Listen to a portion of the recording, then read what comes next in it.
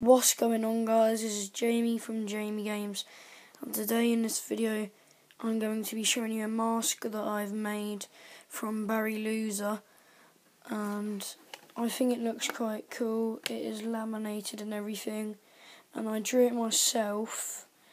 So basically what I did was I drew around my sister's head and if it wasn't perfect like I rubbed out the bit that was wrong and then I like drew it into the circle so now it fits on my head.